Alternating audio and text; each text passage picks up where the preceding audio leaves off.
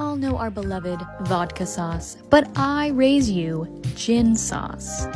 Talk about happy accidents. My dad actually requested I make a recipe using Beatty's vodka. When I hear vodka, I don't know about you, but I think vodka sauce. And it gave me the perfect excuse to try and make homemade pasta for the first time, which was incredibly easy and super fun. After making the noodles, I went to look for the vodka, and we didn't have any.